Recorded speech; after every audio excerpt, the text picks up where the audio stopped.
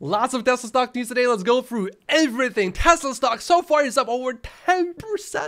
This is because there's a rumor that Tesla might increase prices next month, but also this is largely because Morgan Stanley's Adam Jonas has increased his Tesla stock price target by 60% to $400 per share, up from $250.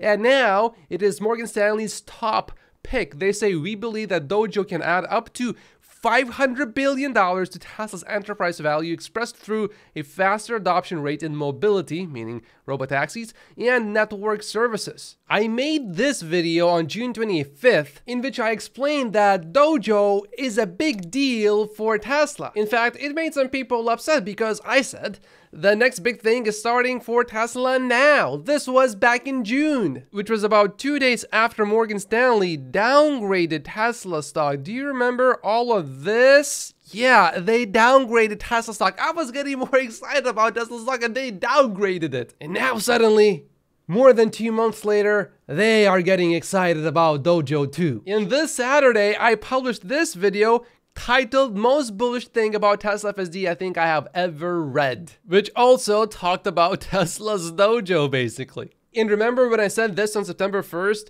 To those who sold today, your long-term sacrifice is appreciated. I'll be buying on Monday, and I did. Actually, I bought on Tuesday because Monday uh, was a statutory holiday. I really think it's pretty simple to figure out what Tesla stock is going to do in the long term. The tricky part is figuring out when will other people actually also figure it out. Because I was talking about this back in June and many times in July and August and even this month and only now did Morgan Stanley actually catch up. I still can't believe I was able to buy Tesla stock at incredibly low prices close to $100. And since then Tesla stock has almost 3x already. Sawyer says I've read over 200 Tesla reports from Adam Jonas over the years. This new 40 page report from him and his contributors which mainly focused on Dojo is probably the most bullish I've seen them talk the potential and implications with Tesla's Dojo system are massive. Interestingly, James said that this is more bullish than the Jonas report from Morgan Stanley, which just made Tesla stock rocket. Uh, there are these rumors here that Tesla may increase the price of the Model Y in China, and also maybe that Tesla will just cancel the rear-wheel drive version altogether in China. He explains here that if they plan to cancel the rear-wheel drive version of the Model Y, which is almost 100% of domestic Y sales and a significant percentage of global sales, over 25% off the top of my head, that would cause average selling prices to moon. It would be bullish assuming that Tesla would still be able to sell the exact same amount of Model Ys as before. If Tesla did make that announcement later, I'm not sure if it would be immediately bullish because maybe some will think Tesla will sell less cars. But if Tesla does not really lose any volume, but sells these cars at higher prices on average, then yeah, that would be bullish after everyone figures out what the earnings actually are. If Tesla does that, it means there's a demand issue. Too much demand is what it would mean to me. In the long term, I expect Tesla to keep making its vehicles cheaper. So in the long term, I wouldn't expect that Tesla would be able to actually sustain that. But it would be a clear indication of much higher demand, I think, which should make Tesla stock go up even in the short term then. Everyone's talking about the Morgan Stanley report today. James says, here's the thing that perplexes me about the Jonas report. If he truly believes in Dojo, FSD, etc., why only $400 price target? It's either you believe all this stuff and Tesla is worth 10x this or you don't. $400 chosen because of what? Close to previous all-time high? Partially yes, because you have to sell to institutional investors and you can't say anything that's too outrageous, anything that's too crazy. You have to make yourself look somewhat credible and most importantly, you have to generate these brokerage commissions because you want people to trade. You want people to sell and buy, sell and buy instead of just holding and not doing anything. That's how a lot of these analysts make money, by the way. They make you trade more often. They generate brokerage commissions. Gary responds to James here. Adam has always included incremental value for Robotaxi in his Tesla price target. His price target has to be based on earnings or cash flows, or the Morgan Stanley Research Committee wouldn't approve it, and his institutional clients would reject it. For the first time, he included licensing fees from third parties in his uh, model basically, and he increases robotaxi estimates as well.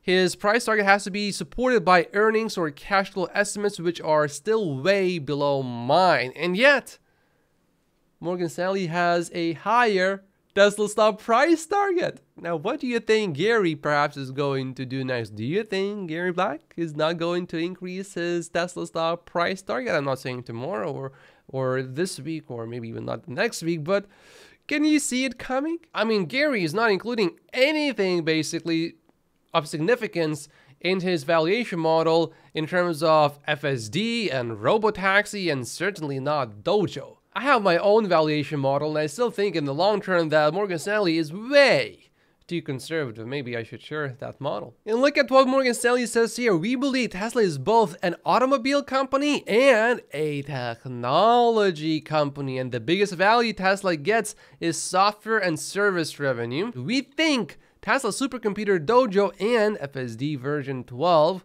next AI day will be worth it. I already said Full Self-Driving version 12 was a big deal and Morgan Stanley is only now catching up. Look at the wording from Morgan Stanley here. Tesla cars are sensor encrusted robots.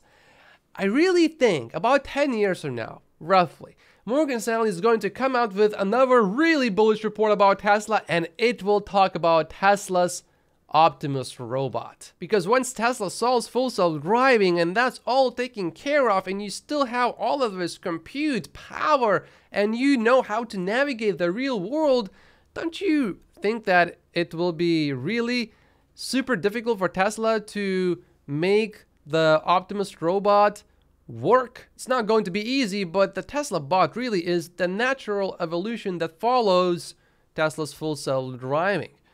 Tesla has built a custom AI chip which can operate more efficiently than any chip on the market and, and this is the important part, at a fraction of the cost. Better, but cheaper. That is a big deal. The more Morgan Stanley looked at Dojo, the more they realized the potential for underappreciated value in the stock and believes Tesla can reasonably test its all-time high of $400 over the next 12 months. I need to make a confession here. I hope it doesn't happen.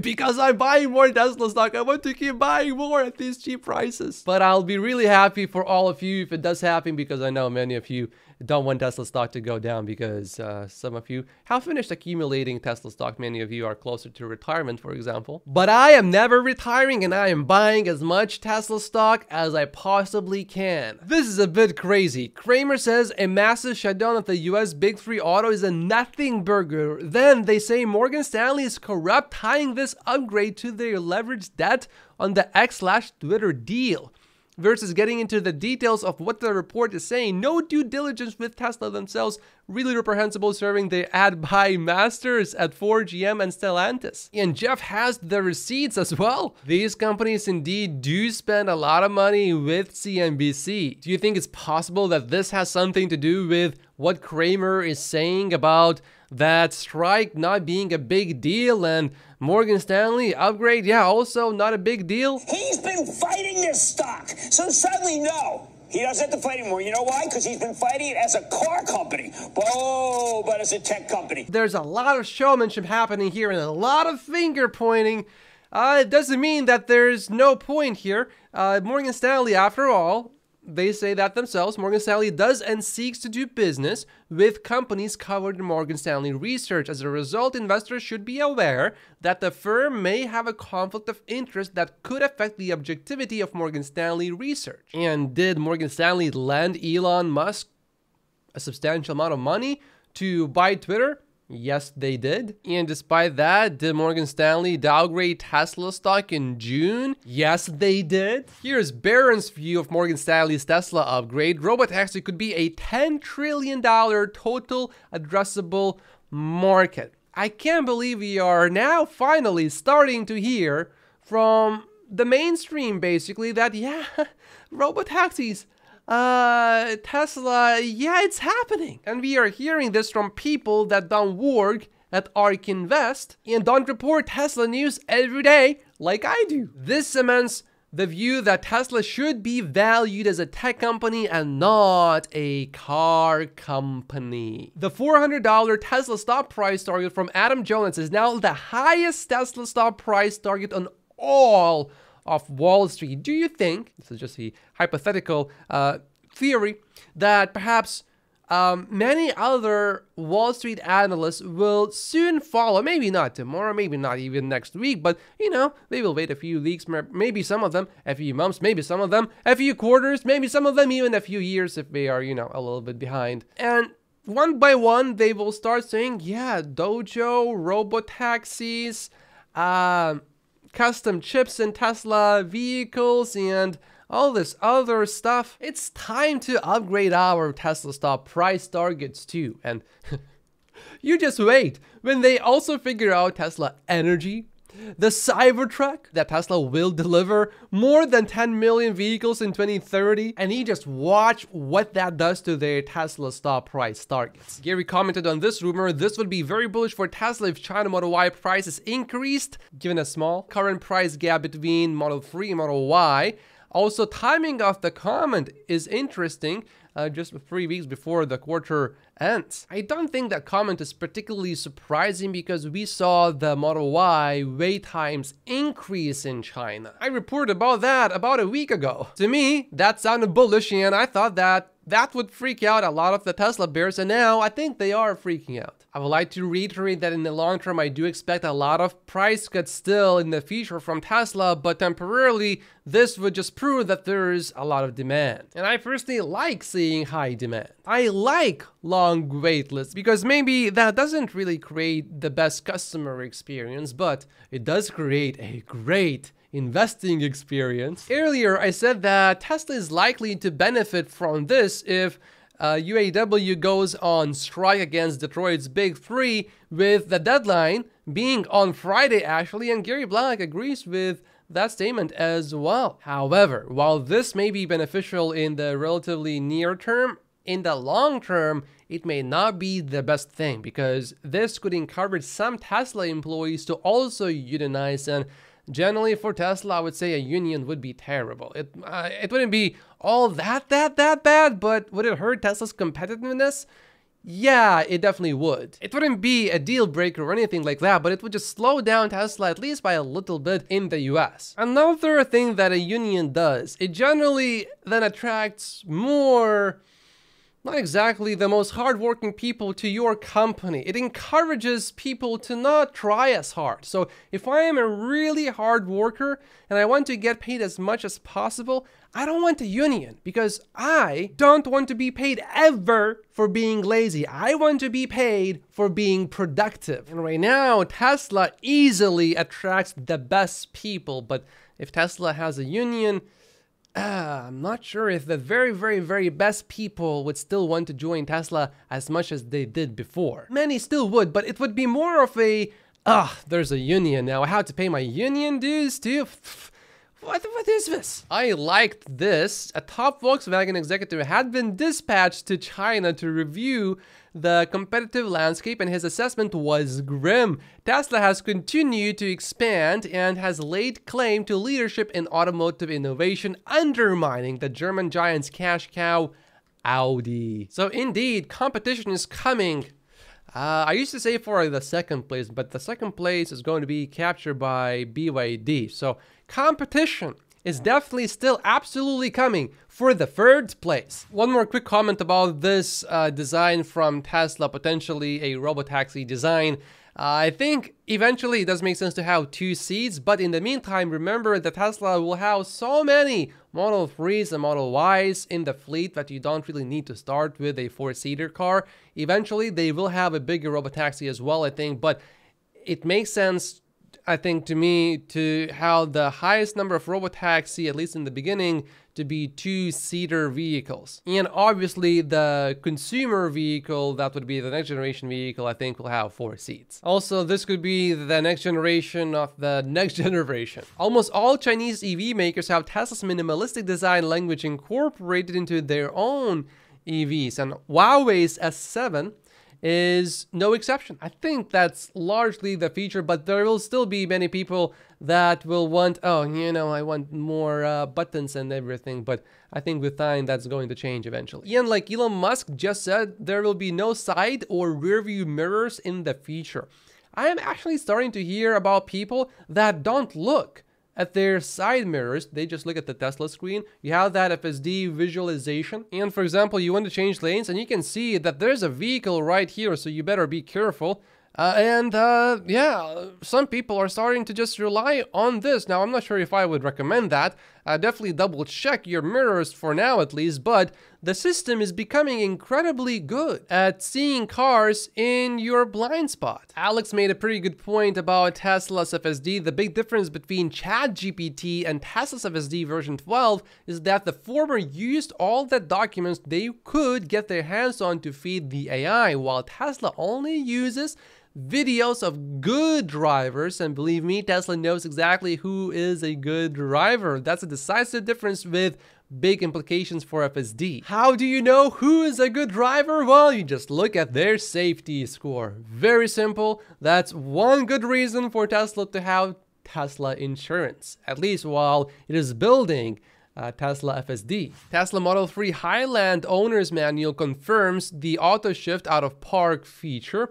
This function allows the new Model 3 to use inputs from its various sensors to select drive or reverse automatically. Now, my friend personally does not like this feature on his Model X because while it works most of the time, the few times that it doesn't, you have to be careful because you might think you're going forward, but you're going to go backwards or vice versa. Eventually, I think that is going to be the future. But for now, I think Tesla is going this direction a little bit too early, just like it did with the ultrasonic sensors. In the end, it will be the right decision, but in the meantime, it's going to frustrate some customers. For now, I would still prefer having stalks, at least for shifting gears. This is good. Tesla GigaPress supplier just posted a photo of what looks to be the 9,000 ton Cybertruck GigaPress. Someone says, having stood next to the 6,000 ton GigaPresses at Giga Texas, I can tell you that is way bigger. I mean, it is enormous. One more interesting thing from the Morgan Stanley report is uh, they said that the next AI day perhaps will be in early 2024. Maybe they have some uh, sort of insider information. I'm not really sure. But by then, I imagine Tesla will have a pretty good dojo update. Tom says that Morgan Stanley is still way off, at least by three times, but it's a major upgrade over the rest of Wall Street. Elon Musk just reiterated that almost all of Tesla's value long term will be from AI and robots, both vehicle and humanoid. It's crazy to think that Tesla is just getting started, but that's just the fact that I believe is true. But it will take some time for Wall Street and everyone else to figure that out. When Google's AlphaZero was training for chess, they included the rules of the game at the beginning and the neural network figured out everything else. I wonder if Tesla's Full Self-Driving version 12 includes the definition of traffic signs, traffic lights, lane lines, etc. For example, does version 12 know what double yellow lines mean? Is that predefined? To me, it looks like Tesla removed all the definitions together with instructions and they will waste time before they realize they need to add the definitions back and remove only instructions. But there's a good comment here. Uh, there's this version that was trained without the rules and became superior and more general versus Alpha Zero. Morgan Stanley of the $150 increase in Tesla price target only assigns $7 of the increase to an increase in vehicle sales. If Robotaxi is more likely and Dojo provides an incredible flywheel, why would the core business barely budge for 2030 cars sold? And there's a pretty good solution actually to uh, this issue. All you need to do, for example, is to go to Google and search for what to do when thinking hurts. One of the results fairly high is tips for coping with urges to self-harm right now. I think um, all of the Tesla bears should really read that. I haven't read it, but I think it would be valuable for them. And YouTube says you should watch this video next, but if you haven't finished watching this Elon Musk interview, watch this one first. My name is Matt Pocius. Like and subscribe if you haven't yet, and I will see you in the next video. Thank you so much for watching.